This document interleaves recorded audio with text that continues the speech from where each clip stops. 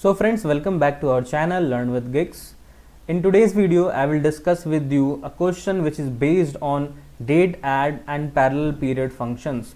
You would have seen from the title. So I will discuss what kind of question an interviewer can ask to you in the Power BI interviews. Okay and this question is asked in the Power BI interviews. so that's why I'm making this video for you so, so, so that you get to know what you have to answer in front of the interviewer okay so let's start and before that if you're new to the channel please subscribe it and hit the bell icon to stay updated with all the coming videos as you won't find the videos that I upload on this channel anywhere else on YouTube. Okay so let's start the video.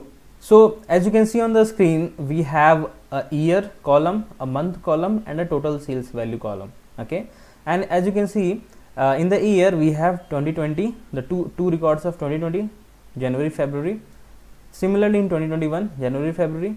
Similarly in 2022 january february.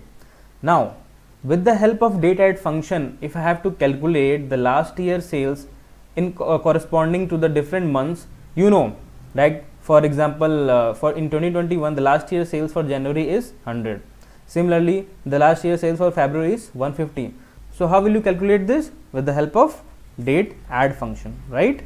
What does the date add function do so date add func function basically returns a table that will contain a column column of dates either shifted forward or backward as per the specified number of intervals from the dates in the current context right so, the specified number of interval will be minus 1 because we have to go back to 1 year and the interval will be year, right. So, let us create that measure and see what does the date add column give us in the in this table and we also know that it should give me uh, 100 and 150 for January and February in 2021 and in 20, 2022 it should give me uh, 200 and 600 for January and February.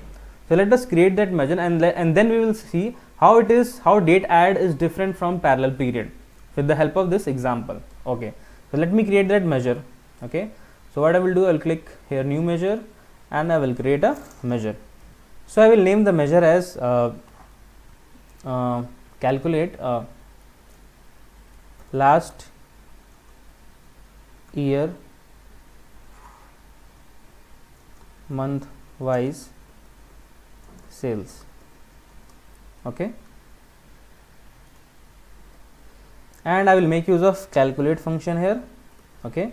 I will make use of one measure that is total sales which I have already created and that is a simple uh, sum of sales value column and then I will make use of date add period a function.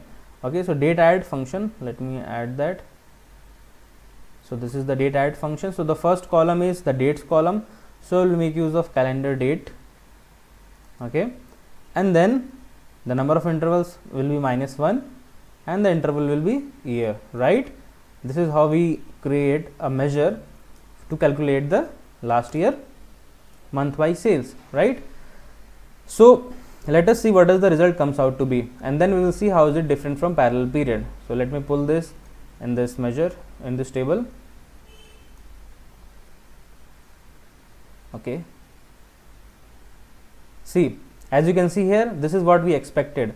In January it is 100 that is uh, that was in 2020 100 similarly for February it is 150 so it is showing 150 here. And then similarly for 2021 200 and 600 right so our measure is working correctly and yes date like data is giving us the correct results. Now how is it different from parallel period? Because if you go to the parallel period function and see its uh, uh, uh syntax and all so you will see that syntax is similar to date add okay? And and it returns a parallel period of dates by the given set of dates by the specified interval whichever we will give okay? Now let us see how is it different from date add by by modifying the same measure that we have created using parallel period. Okay? So let me click on this last year month sales and now i will make use of parallel period here. Okay? Parallel period. So this is that function and let me click on this icon and let's see what does the result comes out to be. Now see what does the result is coming out. See in january it is coming out to be 250 and in february it is coming out to be 250 the same what what it is? It is the sum of values of january and february in 2020 okay? Similarly if you go to 2021 uh, 200 and 600 is the uh, value right?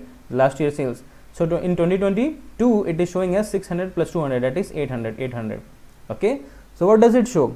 So even if uh, the syntax and all are similar to the date add function then also what it will showing? It will show the summation of sales for the last year in each month. Okay in each month of the current year it will show the summation of all the values or all the sales that has happened in the last year. So this is the difference between date add and parallel period. Earlier using date add we were getting the exact sales that happened. But now using parallel period we are getting the summation of values and that is the main difference between date add and parallel period. I hope it is clear to you now. You would be able to answer it in front of the interviewer now. Okay? The the main difference between these two okay. Now let us proceed with one more question that i have added with this and that is, is this question. Difference between values and distinct functions. This question is also asked and it is quite similar. These two functions are quite similar. Values also uh, return the distinct values of a column and distinct also returns the distinct values of a column. Then where is the difference between these two? The difference is that if suppose if you are using values and the column that you are giving inside the argument part of values if it contains a blank value so it will show as a distinct value whenever you will whenever you will use value function. But the same column if you will give inside distinct function the distinct function will ignore the blank. Okay? So this is the main difference between these two. And many of us are not aware about these this difference between these two and we just say that yeah these are they are both the, both these functions are uh, similar to each other right? But no they are not in terms of blank values. Values will support blank value as a distinct value but distinct function will not support that okay? So this is the major difference and that you can tell to the interviewer. So this is what i wanted to share with you all. I hope uh, you liked the explanation and you got the explanation also. And if you like it please hit the like button for this video and please share it with all your friends and colleagues whoever are in need of this okay? So that's it. Thank you and stay tuned